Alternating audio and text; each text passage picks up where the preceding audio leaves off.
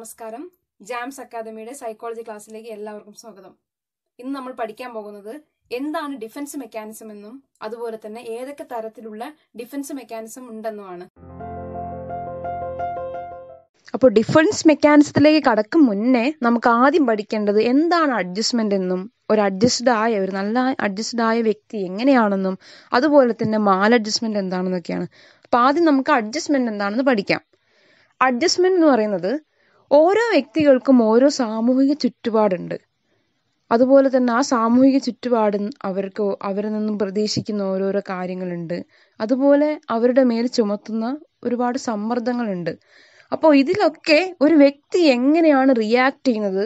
അതാണ് അഡ്ജസ്റ്റ്മെന്റ് അതായത് നമുക്കിപ്പോൾ ഓരോരോ സിറ്റുവേഷൻസിലും നമ്മൾ ഓരോ വ്യക്തികളും ഓരോ രീതിയിലാണ് റിയാക്ട് ചെയ്യുക. അപ്പോൾ നല്ല രീതിയിൽ റിയാക്ട് ചെയ്യുന്നവർ നമ്മൾ പറയും ഓ നന്നായി അഡ്ജസ്റ്റ് ചെയ്യുന്ന ഒരു വ്യക്തിയാണ്. ചിലപ്പോൾ അവർക്ക് അത് നല്ല രീതിയിൽ റിയാക്ട് ചെയ്യാൻ പറ്റുന്നില്ലെങ്കിൽ നമ്മൾ പറയും ഒട്ടും അഡ്ജസ്റ്റ്മെന്റ് ഇല്ല. അപ്പോൾ അഡ്ജസ്റ്റ്മെന്റ് എന്ന് പറയുന്നത് നമ്മുടെ റിയാക്ഷൻ അനുസരിച്ചിരിക്കും. നമുക്ക് ഓരോ ചാലഞ്ചസ് വരുമ്പോൾ നമ്മൾ എങ്ങനെ അതിനെ റിയാക്ട് ചെയ്യുന്നു അതനുസരിച്ചാണ് അഡ്ജസ്റ്റ്മെന്റ് ഒരു വെൽ അഡ്ജസ്റ്റഡ് പേഴ്സൺ എന്ന് പറയുന്നത് ഓരോ പുതിയ ചുറ്റുപാടിനെയും അതുപോലെ തന്നെ ഓരോ വെല്ലുവിളികളെയും അവർ നേരിടുന്നത് അവരുടെ ബുദ്ധി കൊണ്ടും ധൈര്യം കൊണ്ടും വിവേകം കൊണ്ടുമാണ്. അതായത് ഏതൊരു പുതിയ സിറ്റുവേഷനും ഏതൊരു വെല്ലുവിളി വന്നാലും അവരതിനെ ധൈര്യത്തോടെ നേരിടും. അങ്ങനെ തളർന്നു പോകില്ല. ഇങ്ങനൊരു ബുദ്ധിമുട്ട് വന്നു അല്ലെങ്കിൽ പ്രശ്നം വന്നു എന്ന് കരുതി അവർ തളരില്ല. അതുപോലെ ഇങ്ങനെയുള്ളവർക്ക് ഒരുപാട് സ്വഭാവ സവിശേഷതകളുണ്ട്. അതായത് ആദ്യത്തെ കാര്യം എന്ന് പറയുന്നത് അവർ അവരുടെ തന്നെ സ്ട്രെങ്ത്തിനെ കുറിച്ചും വീക്ക്നെസ്സിനെ കുറിച്ചും അവെയർ ആയിരിക്കും. എനിക്കിങ്ങനെ ഒരു കഴിവുണ്ട് അല്ലെങ്കിൽ ഇങ്ങനെ ഒരു കഴിവ് എനിക്ക് ഇതെനിക്ക് ചെയ്യാൻ പറ്റില്ല. ഇതിനെക്കുറിച്ചുള്ളൊരു ബോധം അവർക്കുണ്ടായിരിക്കും. അതുപോലെ തന്നെ അവനവനെ തന്നെ റെസ്പെക്റ്റ് ചെയ്യുകയും മറ്റുള്ളവരെയും റെസ്പെക്റ്റ് ചെയ്യുന്ന ഒരു ക്യാരക്ടർ ഇവർക്ക് ഉണ്ടായിരിക്കും അതായത് ഇപ്പോൾ നമുക്ക് നമ്മൾ മറ്റുള്ളവരെ റെസ്പെക്ട് ചെയ്യും നമ്മളെ തന്നെ റെസ്പെക്ട് ചെയ്താൽ മാത്രമേ നമുക്ക് മറ്റുള്ളവരിൽ നിന്നും തിരിച്ചു റെസ്പെക്റ്റ് കിട്ടൂ. അപ്പോൾ റെസ്പെക്റ്റ് എന്ന് പറയുന്നത് ഒരു ഗിവ് ആൻഡ് ടേക്ക് പോളിസിയാണ് അപ്പോൾ ഇവർ ഇവരെ തന്നെയും മറ്റുള്ളവരെ നന്നായി റെസ്പെക്റ്റ് ചെയ്യും. അതുപോലെ തന്നെ they will have an adequate level of aspiration അതായത് എന്തിനോടും ഒരു വേണ്ട രീതിയിലുള്ള ഒരു ആഗ്രഹം വേണ്ട ഒരു ലെവലിൽ മാത്രം ഇവർക്കുണ്ടായിരിക്കും. കൂടുതലായിരിക്കില്ല എന്നാൽ ഒരു ഒട്ടും ആഗ്രഹമില്ലാത്ത അവസ്ഥയിലും ആയിരിക്കില്ല. അതുപോലെ തന്നെ ബേസിക് നീഡ്സിനെ സാറ്റിസ്ഫൈ ചെയ്തിട്ടുണ്ടായിരിക്കും. അതായത് ബേസിക് നീഡ്സിനെ സാറ്റിസ്ഫൈ ചെയ്താൽ മാത്രമേ നമുക്ക് എന്തൊരു സിറ്റുവേഷനിലും അഡ്ജസ്റ്റ് ആവാൻ പറ്റൂ. ഇപ്പോൾ നല്ല വിശപ്പുണ്ട്. അപ്പോൾ വിശപ്പ് എന്ന് പറയുന്നത് ഒരു വിശപ്പ് നമ്മൾ ഭക്ഷണം കഴിക്കേണ്ടത് ഒരു ബേസിക് നീഡാണ് നല്ല വിശപ്പുണ്ട് ഫുഡ് കിട്ടുന്നില്ലെങ്കിൽ നമുക്ക് വേറെ എന്തെങ്കിലും കാര്യങ്ങൾ നമുക്ക് അഡ്ജസ്റ്റ് ചെയ്യാൻ പറ്റുമോ നമുക്ക് ഒരു പരിധി വരെ നമ്മൾ അഡ്ജസ്റ്റ് ചെയ്യും അത് കഴിഞ്ഞാൽ നമുക്കത് അഡ്ജസ്റ്റ് ചെയ്യാൻ പറ്റില്ല. അപ്പോൾ ഒരു വെൽ അഡ്ജസ്റ്റഡ് ആയ ആൾ എപ്പോഴും അവരുടെ ബേസിക് നീഡ്സ് സാറ്റിസ്ഫൈ ചെയ്തിരിക്കണം. ഒരു വെൽ അഡ്ജസ്റ്റഡ് ആയ വ്യക്തി എപ്പോഴും മറ്റുള്ളവരുടെ തെറ്റുകളും കുറ്റങ്ങളും കണ്ടുപിടിക്കാൻ ശ്രമിക്കില്ല. അവർ പലപ്പോഴും മറ്റുള്ളവരുടെ നന്മയായിരിക്കും കണ്ടുപിടിക്കാൻ ശ്രമിക്കുക. അതുപോലെ തന്നെ എന്തൊരു പ്രതികൂല സാഹചര്യങ്ങൾ വന്നാലും അതിനെ ഡീൽ ചെയ്യാനുള്ള കപ്പാസിറ്റി കൂടെ ഇവർക്ക് ഉണ്ടായിരിക്കും അപ്പോൾ വെൽ അഡ്ജസ്റ്റഡ് ആയ ആളുകൾക്കാണ് എന്ത് പ്രശ്നം വന്നാലും അവരതിനെ എങ്ങനെയെങ്കിലുമൊക്കെ സോൾവ് ചെയ്യും. അതും പറഞ്ഞ് അതൊരു വലിയ പ്രശ്നമായിട്ട് അങ്ങനെ നടക്കില്ല. അവരതിനെ നന്നായിട്ട് ഡീൽ ചെയ്യും. അതുപോലെ ഇവർ വേൾഡിനെ കുറച്ചും കൂടെ റിയലിസ്റ്റിക് ആയിട്ടാണ് കാണുന്നത്. പിന്നെ ഇവരുടെ ബിഹേവിയർ എന്ന് പറയുന്നത് ഫ്ലെക്സിബിൾ ആയിരിക്കും. അതായത് ഒരു സിറ്റുവേഷൻ വന്നാൽ ഇപ്പം നമ്മൾ എന്തെങ്കിലും ഒരു സിറ്റുവേഷൻ വന്നു ഞാൻ ഇങ്ങനെ നിൽക്കും എനിക്കൊരു ഇച്ചിരി പോലും മാറാൻ പറ്റില്ല അങ്ങനെ ആയിരിക്കില്ല. അപ്പം നമ്മുടെ കൂടെ ആർക്കെങ്കിലും വേണ്ടിയൊക്കെ നമ്മൾ അഡ്ജസ്റ്റ് ചെയ്യുന്നത് എന്താണ്? നമ്മുടെ ബിഹേവിയറിൽ കൊണ്ടുവരുന്ന ഒരു ഫ്ലെക്സിബിലിറ്റിയാണ് നമ്മൾ ഒരിക്കലും റിജിഡ് ആയിരിക്കില്ല. ഒരു ഉറച്ച് ഞാൻ ഇങ്ങനെ നിൽക്കും എന്ന് പറയുന്ന ആൾ ഒരിക്കലും ഒരു അഡ്ജസ്റ്റഡ് ആയ ആളല്ല. അപ്പോൾ ഇത്രയൊക്കെയാണ് ഒരു വെൽ അഡ്ജസ്റ്റഡ് ആയ ആൾ ആളിന്റെ പ്രധാനപ്പെട്ട ക്യാരക്ടറിസ്റ്റിക്സ് മാൽ അഡ്ജസ്റ്റ്മെന്റ് എന്ന് പറയുമ്പോൾ അഡ്ജസ്റ്റ്മെന്റിന്റെ ഓപ്പോസിറ്റ്. അഡ്ജസ്റ്റ് ചെയ്യാൻ പറ്റാത്തൊരവസ്ഥ.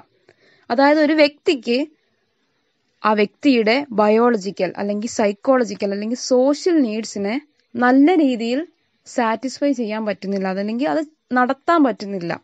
അവർക്ക് ഒരു കാര്യങ്ങളും വേണ്ട രീതിയിൽ സക്സസ്ഫുൾ ആയിട്ട് ചെയ്യാൻ കഴിയാത്തൊരവസ്ഥയാണ് മാൽ അഡ്ജസ്റ്റ്മെന്റ്. അപ്പോൾ ഇങ്ങനെയുള്ള വ്യക്തികൾ എന്ന് പറയുമ്പോൾ ഓരോരോ സാഹചര്യങ്ങളിൽ നിന്നും ഉൾവലിയാൻ ശ്രമിക്കും. അതുപോലെ തന്നെ ഇവർ കുറച്ച് ഷൈ ആയിരിക്കും. അതായത് കുറച്ചുകൂടെ ആളുകളോട് ഇടപഴകാനൊരു ബുദ്ധിമുട്ട് കാണും. അതുപോലെ സെൽഫ് കോൺഷ്യസ് ആയിരിക്കും. അതായത് എന്തെങ്കിലും പറഞ്ഞാൽ ഞാനിങ്ങനെ ചെയ്യുമ്പോൾ അതിപ്പോൾ എങ്ങനെ അവർക്ക് തോന്നും? അങ്ങനെ എപ്പോഴും അവനവനെ കുറിച്ചൊരു കോൺഷ്യസ് ആയിരിക്കും. അവനവന്റെ ആക്ഷനെ കുറിച്ച് കോൺഷ്യസ് ആയിരിക്കും. അങ്ങനെ നമ്മൾ അങ്ങനെ വിചാരിച്ചുകൊണ്ടിരുന്നാൽ നമുക്കൊന്നും ചെയ്യാൻ കഴിയില്ല. അപ്പോൾ ഇങ്ങനെയൊക്കെയാണ് മാൽ അഡ്ജസ്റ്റ് പേഴ്സൺ അതുപോലെ തന്നെ ഫിയർഫുൾ അതായത് എന്തിനോടൊരു പേടിയായിരിക്കും? ആങ്ഷ്യസ് ആയിരിക്കും. അതായത് നല്ല ആങ്സൈറ്റി കാണും. നമുക്ക് ആങ്സൈറ്റി ഉണ്ടെങ്കിൽ തന്നെ നമുക്ക് ഒരു കാര്യവും നടക്കില്ല. അതുപോലെ ഇവർക്ക് ഒരുപാട് ഡിലൂഷൻസ് ഉണ്ടായിരിക്കും. അതായത് ഓരോരോ തോന്നലുകൾ. അത് എന്ത് എന്തെങ്കിലും ഇപ്പോൾ നടന്നില്ല. എന്തെങ്കിലും ഒരു കാര്യം വിചാരിച്ച ഓ അത് ഇതാണ് എന്റെ വിധി. അങ്ങനെയൊക്കെ കരുതുക. അല്ലെങ്കിൽ ദൈവത്തിന്റെ തീരുമാനം അതാണ്. അങ്ങനെ മാത്രം കരുതി എല്ലാ കാര്യങ്ങളും കടന്നു പോവുക. അതായത് ഒന്നും നമുക്കൊരു ശ്രമമില്ല. അതുപോലെ ഇവർ ചിലപ്പോൾ എക്സ്ട്രീംലി അഗ്രസീവ് ആയിരിക്കും. അതായത് ഭയങ്കര ദേഷ്യമൊക്കെ ചിലപ്പം അടക്കാൻ കഴിയില്ല. അപ്പോൾ എന്തെങ്കിലും ഒരു സാധനം എടുത്ത് എറിയുക അല്ലെങ്കിൽ ആരോടെയും ദേഷ്യം തീർക്കുക. അപ്പോൾ ഇങ്ങനെയൊക്കെയുള്ളൊരു ക്യാരക്ടറിസ്റ്റിക്സ് ആണ് ഒരു മാൽ അഡ്ജസ്റ്റഡ് പേഴ്സണിൽ സാധാരണ കാണുന്നത്. എന്താണ് ഡിഫൻസ് മെക്കാനിസം എന്നാണ് ഇനി നമ്മൾ പഠിക്കാൻ പോകുന്നത്.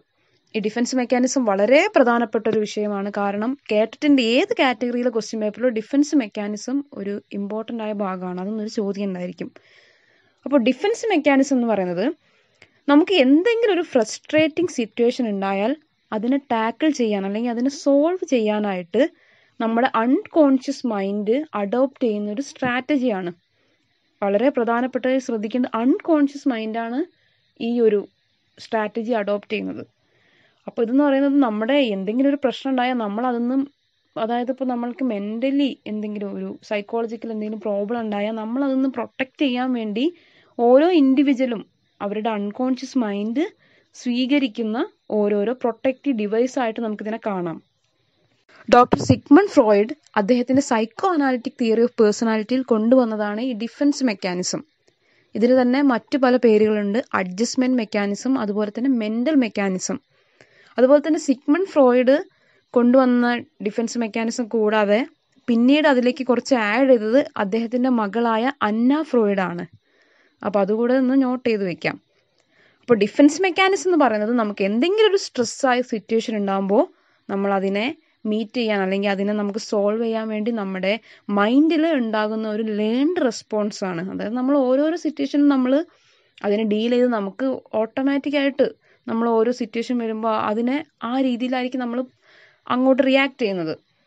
അതുകൊണ്ട് ഇതൊരു ഹാബിച്വൽ മെത്തേഡായിട്ട് മാറും. നമുക്ക് എന്തെങ്കിലും ഒരു പ്രശ്നം ഉണ്ടായാലോ അപ്പോൾ നമുക്ക് നമ്മളെ തന്നെ സമാധാനിപ്പിക്കാൻ അതുപോലെ ഒരു ഇക്വലിബ്രിയം അതായത് എല്ലാവരും നല്ല അവസ്ഥയിൽ കൊണ്ടുപോകാനും നമ്മുടെ മോട്ടീവ്സ് സാറ്റിസ്ഫൈ ചെയ്യാനും നമ്മുടെ ഗോളിലേക്ക് എത്താനും എല്ലാത്തിനും വേണ്ടിയുള്ള ഒരു മെത്തേഡാണ് ഈ ഡിഫൻസ് മെക്കാനിസം ഇത് ഒരു കോപ്പിംഗ് ടെക്നിക്കാണ് അതായത് എന്തെങ്കിലും ഒരു കാര്യം ഉണ്ടെങ്കിൽ അതിനെ സഹിച്ചു പോകാൻ അല്ലെങ്കിൽ അതിനെ കോപ്പ് ചെയ്യുക. അതുമായിട്ട് നല്ല രീതിയിൽ പോകാൻ ഉള്ളൊരു ടെക്നിക്കാണിത് കാരണം എന്താണെന്ന് വെച്ചാൽ ഈ ഡിഫൻസ് മെക്കാനിസം ആണ് കുറേയൊക്കെ നമ്മുടെ ആങ്സൈറ്റി കുറയ്ക്കുന്നത്. അല്ലെങ്കിൽ അതായത് നമ്മുടെ മനസ്സിൽ വരുന്ന അതായത് മറ്റുള്ളവർക്ക് കേട്ടാൽ ചിലപ്പോൾ അത് ഒരു നെഗറ്റീവ് ആയിട്ടുള്ള ഒരു ക്യാരക്ടറിസ്റ്റിക്സ് ആയിട്ട് തോന്നും. പൊട്ടൻഷ്യലി ഹാംഫുൾ ആയിട്ടുള്ള ഒരുപാട് കാര്യങ്ങളെ കൺട്രോൾ ചെയ്ത് പോകുന്നത് ഈ ഡിഫൻസ് മെക്കാനിസം ആണ്. അതുപോലെ തന്നെ ഇതൊരു ടെൻഷൻ റിഡക്ഷൻ ആക്ടിവിറ്റിയാണ് അതായത് നമ്മൾ ഓരോ സിറ്റുവേഷൻസിലും നമുക്ക് ഈ ഡിഫൻസ് മെക്കാനിസം നമുക്ക് അറിയാതെ വർക്കാവും നമ്മൾ പല പലവരും പല സിറ്റുവേഷൻസിലും പല രീതിയിൽ റിയാക്ട് ചെയ്യുന്നത് ഓരോരോ ഡിഫൻസ് മെക്കാനിസം ആണ്. നമുക്കത് അറിയില്ല. പക്ഷെ നമ്മളത് നമ്മുടെ ലൈഫിൽ അത് കടന്നു പോകാറുണ്ട്.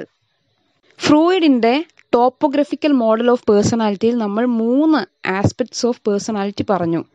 അതായത് id ego and super ego. ഇതിൽ റിയാലിറ്റിയുമായി ഡീൽ ചെയ്യുന്നത് ഏതാണ്?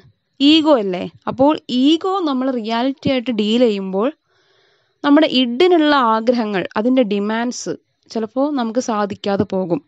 അതുപോലെ സൂപ്പർ ഈഗോ പറയുന്ന കുറച്ച് മൊറാലിറ്റീസ് ഉണ്ട്.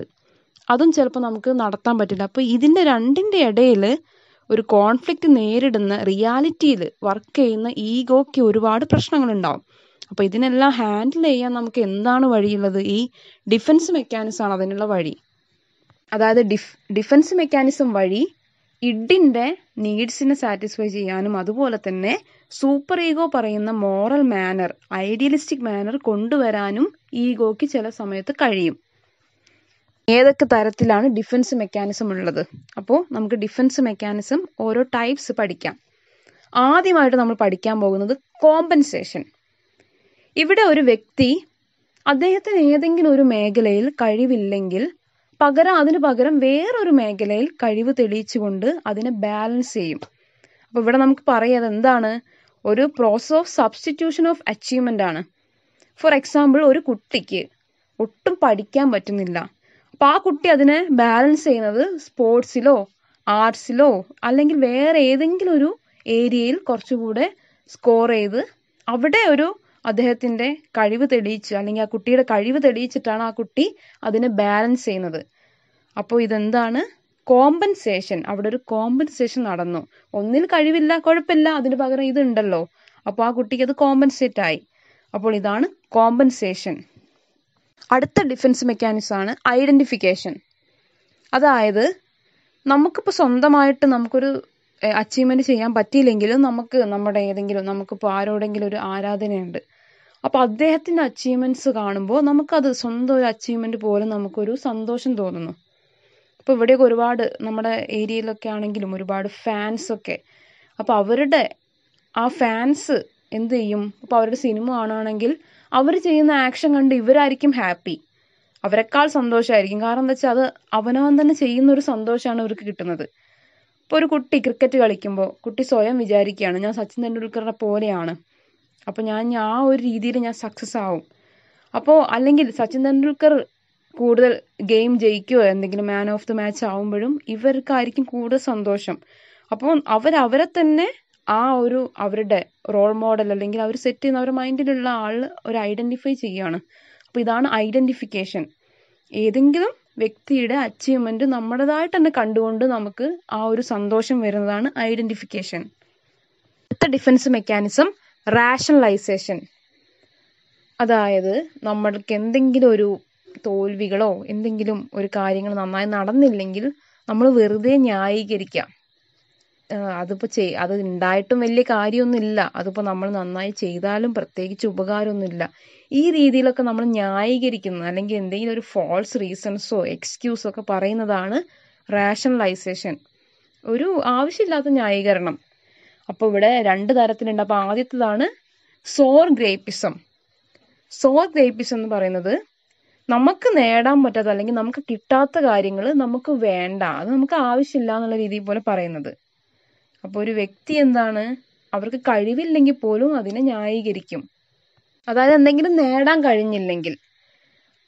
ഒരു ഉദാഹരണം പറയുവാണെങ്കിൽ ഒരു യു ജി സി ടെസ്റ്റ് എഴുതി നമുക്ക് പാസ്സായില്ല. അപ്പം നമ്മൾ പറയുകയാണ് കിട്ടാതെ നന്നായി. എത്ര പേരാണ് യു ജി സി ഒക്കെ പാസ്സായിട്ട് ഒരു ജോലി ഇല്ലാതെ നടക്കുന്നത് കിട്ടിയിട്ടും കാര്യമൊന്നുമില്ല. അപ്പോൾ നമുക്ക് ആഗ്രഹം ഉണ്ടാവും കിട്ടാൻ. പക്ഷെ നമ്മൾ കിട്ടിയില്ലെങ്കിൽ ഈ രീതിയിൽ ഒരു ന്യായീകരണം പറയുന്നതാണ് സോർ ഗ്രേപ്പിസം നമ്മൾ കുറുക്കന്റെ മുന്തിരിയുടെ കഥ പഠിച്ചിട്ടുണ്ടല്ലോ. അതായത് കിട്ടാത്ത മുന്തിരി പുളിക്കും. അങ്ങനെ പറയുന്ന പോലെ തന്നെ. അതായത് കുറുക്കന് മുന്തിരി കിട്ടാൻ വേണ്ടി ഒരുപാട് ശ്രമിക്കും. കിട്ടിയില്ല. അപ്പം കുറുക്കൻ പറയുവാണ് കിട്ടാതെ നന്നായി. അത് മുന്തിരി എന്തെങ്കിലും പൊളിക്കും. അതുകൊണ്ട് കിട്ടാതെ നന്നായി. അപ്പൊ ഈ രീതിയിൽ പറയുന്നതാണ് സോർ ഗ്രേപ്പിസം അടുത്തതാണ് സ്വീറ്റ് ലെമണിസം അതായത് റാഷണലൈസേഷൻ രണ്ട് തരമുണ്ട്. ആദ്യത്തേത് സോർ ഗ്രേപ്പിസം രണ്ടാമത്തത് സ്വീറ്റ് ലെമണിസം അപ്പോൾ സ്വീറ്റ് ലെമണിസം എന്ന് പറയുന്നത് നമ്മൾ ഓൾറെഡി അച്ചീവ് ചെയ്തത് മറ്റുള്ളവർ ആഗ്രഹിക്കുന്ന ഇതിനേക്കാൾ മുകളിൽ നമുക്ക് പറ്റുമായിരിക്കും. പക്ഷെ അതിനേക്കാൾ എത്രയോ ബെറ്റർ ആണെന്ന് കരുതുന്നത്. അതായത് നമുക്ക് ഇപ്പോൾ ഉള്ള ഒരു ലെവൽ അതിനേക്കാളും കൂടുതൽ പറ്റുമെങ്കിൽ പോലും അതാണ് ബെറ്റർ അതാണ് ഓൾറെഡി മറ്റേതിനേക്കാളൊക്കെ ബെറ്റർ എന്ന് കരുതി അങ്ങനെ ന്യായീകരിക്കുന്നതാണ് സ്വീറ്റ് ലെമണിസം അടുത്ത നമ്മൾ പഠിക്കാൻ പോകുന്ന ഡിഫൻസ് മെക്കാനിസം ആണ് സബ്ലിമേഷൻ സബ്ലിമേഷൻ എന്ന് പറയുമ്പോൾ നമ്മൾക്ക് ഉള്ളിലുണ്ടാകുന്ന അതായത് മറ്റുള്ളവർക്ക് സോഷ്യലി അക്സെപ്റ്റ് ചെയ്യാൻ പറ്റാത്ത ഉള്ളിലുള്ള ഡിസയേഴ്സ് നമ്മൾ വേറെ ഏതെങ്കിലും ഭാഗത്തോട്ട് റീഡയറക്റ്റ് ചെയ്യുക. അതായത് ചാനലൈസ് ചെയ്യുക. ഒരു എക്സാമ്പിൾ പറയുവാണെങ്കിൽ ഒരു നല്ല അഗ്രസീവായ ആൾക്ക് എന്താണ് ബോക്സിങ്ങിൽ നന്നായിട്ട് പറ്റും. അല്ലെങ്കിൽ സ്പോർട്സിൽ നന്നായിട്ട് അച്ചീവ് ചെയ്യാൻ പറ്റും. അപ്പൊ ആ ഒരു അവരുടെ മനസ്സിലുള്ള അഗ്രസീവ്നെസ്സിനെ അങ്ങോട്ട് ചാനലൈസ് ചെയ്ത് വിടുന്നു. അപ്പൊ അതിന് എന്തെങ്കിലും ഒരു ഫ്രൂട്ട്ഫുൾ ആയ അല്ലെങ്കിൽ സോഷ്യലി അക്സെപ്റ്റബിൾ ആയ ഒരു രീതിയിലേക്ക് അവർക്ക് മാറ്റാം. അല്ലെങ്കിൽ എന്തെങ്കിലും ഒരു ലവ് ഫെയിലറോ എന്തെങ്കിലും ഉണ്ടായി.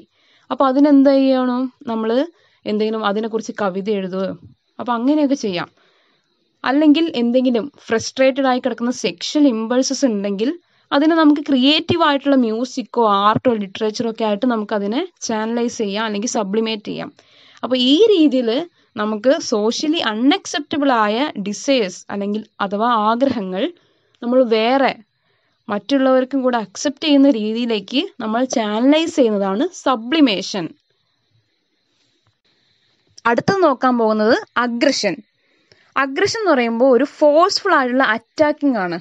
അത് ഏത് തരത്തിലാവാം? വെർബൽ ആവാം സിംബോളിക് ആവാം അല്ലെങ്കിൽ ഇതെല്ലാം കൂടെ ചേർന്നതാവാം. അതായത് നമുക്ക് നല്ലൊരു ഫ്രസ്ട്രേഷൻ വരുമ്പോൾ നമ്മൾ ഒന്നുകിൽ മറ്റുള്ളവരെ ഉപദ്രവിക്കാം അല്ലെങ്കിൽ നമ്മൾ നമ്മളെ തന്നെ ഉപദ്രവിക്കാം അല്ലെങ്കിൽ നമ്മൾ എന്തെങ്കിലും ഒരു സാധനം എടുത്ത് പൊട്ടിക്കുക. അപ്പൊ ഈ രീതിയിലൊക്കെ ചെയ്യുന്നതാണ് അഗ്രഷൻ അഗ്രസീവ് ബിഹേവിയർ എന്ന് പറയുന്നത്. അപ്പോൾ അത് വെച്ച് കമ്പയർ ചെയ്ത് പഠിക്കാം. അഗ്രഷൻ അപ്പൊ രണ്ട് തരത്തിലുണ്ട് aggression.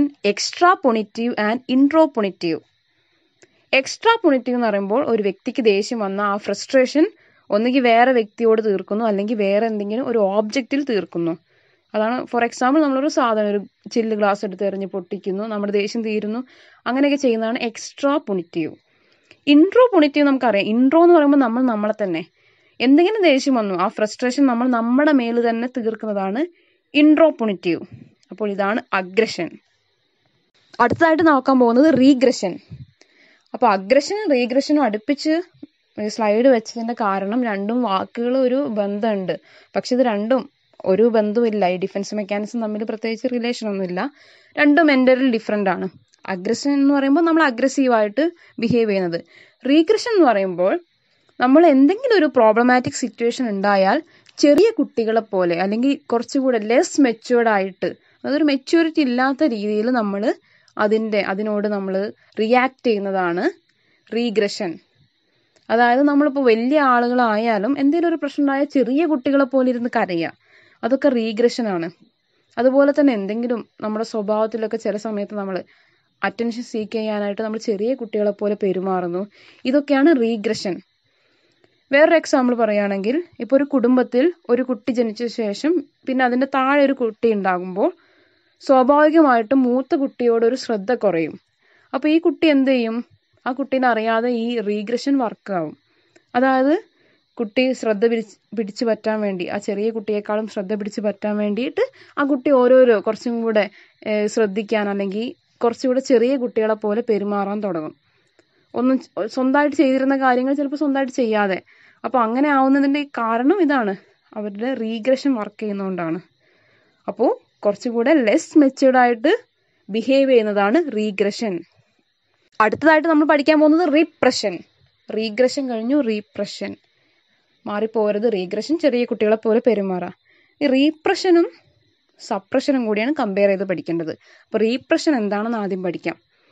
നമ്മുടെ നമുക്ക് എന്തെങ്കിലും വിഷമം ഉണ്ടാകുന്നതോ അല്ലെങ്കിൽ നമുക്ക് അക്സെപ്റ്റ് ചെയ്യാൻ പറ്റാത്ത ഏതെങ്കിലും ഫീലിങ്സ് അല്ലെങ്കിൽ ചിന്തകളെ നമ്മൾ അറിയാതെ തന്നെ നമ്മുടെ അൺകോൺഷ്യസ് മൈൻഡിലോട്ട് പോകുന്നതാണ് റിപ്രഷൻ അതായത് ഇതൊരു അൺകോൺഷ്യസ് ആക്ടിവിറ്റിയാണ് നമുക്ക് എന്തെങ്കിലും ഒരു വേദനിപ്പിക്കുന്ന കാര്യങ്ങളോ അല്ലെങ്കിൽ നമുക്ക് ഒരു നാണക്കേട് തോന്നിയതോ കുറ്റബോധം തോന്നിയ കാര്യങ്ങൾ അല്ലെങ്കിൽ നമുക്ക് ആഗ്രഹിച്ചിട്ട് നടക്കാതെ പോയ ആഗ്രഹങ്ങൾ ഇതൊക്കെ നമ്മൾ അറിയാതെ തന്നെ കാലക്രമേണ നമ്മുടെ കോൺഷ്യസ് മൈൻഡിൽ നിന്നും അൺകോൺഷ്യസ് മൈൻഡിലോട്ട് പോകും.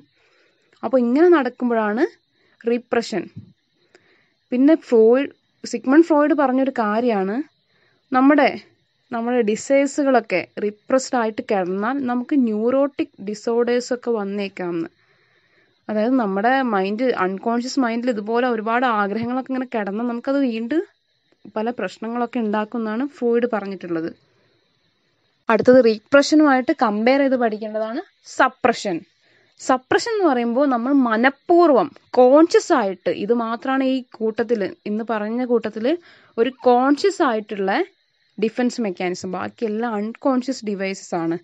അപ്പോൾ ഇവിടെ എന്ന് പറയുമ്പോൾ നമുക്ക് എന്തെങ്കിലും ഒരു ഒരു പ്രോബ്ലം അല്ലെങ്കിൽ ഒരു ഡിസ്കംഫേർട്ട് ഉണ്ടാകുമ്പോൾ നമ്മൾ അതിനെക്കുറിച്ച് നമ്മൾ അതിനെക്കുറിച്ച് ഓർക്കണ്ട നമ്മൾ കോൺഷ്യസ് ആയിട്ട് നമ്മൾ തീരുമാനിക്കുക. അപ്പോൾ അങ്ങനെയൊക്കെ നമ്മൾ ആ ഒരു ഇതിനെ നമ്മൾ നമ്മുടെ മൈൻഡിൽ നിന്ന് കളയുന്നതാണ് സപ്രഷൻ നമ്മൾ സപ്രസ് ചെയ്ത് വെക്കുക. നമ്മൾ കോൺഷ്യസ് ആയിട്ട്. ഒരു എക്സാമ്പിൾ പറയുകയാണെങ്കിൽ ഇപ്പോൾ ഒരു പേഷ്യന്റിന് എന്തെങ്കിലുമൊക്കെ ഒരു ഡിഫിക്കൽട്ടീസ് ഉണ്ട്. അപ്പോൾ പേഷ്യന്റ് പറയാണ്. അതിനെക്കുറിച്ച് ഓർക്കാൻ വയ്യാത്തതുകൊണ്ട് പറയാണ്. എനിക്കതിനെക്കുറിച്ച് സംസാരിക്കാൻ താല്പര്യമില്ല. അല്ലെങ്കിൽ ഏതെങ്കിലും ഒരു വിഷയം നമുക്കൊരു വിഷമം വന്നു.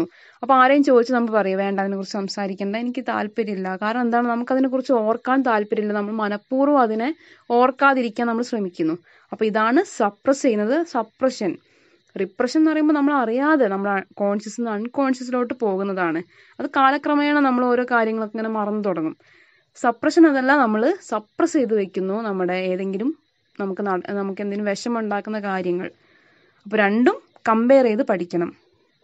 അടുത്ത ഡിഫൻസ് മെക്കാനിസം ആണ് റിയാക്ഷൻ ഫോർമേഷൻ ഇതിനെ തന്നെ പറയുന്ന മറ്റൊരു പേരാണ് റിവേഴ്സൽ ഫോർമേഷൻ അതായത് ഇവിടെ നമുക്ക് നമ്മുടെ ആങ്സൈറ്റി എന്തെങ്കിലും ഉണ്ടാക്കുന്ന കാര്യമാണെങ്കിൽ നമ്മൾ അതിന് ഓപ്പോസിറ്റ് ആയിട്ടുള്ള ഒരു കാര്യം ചെയ്തിട്ട് നമ്മൾ അതിനെ ആ ഒരു ഇതിനെ നമ്മൾ ഡീൽ ചെയ്യും.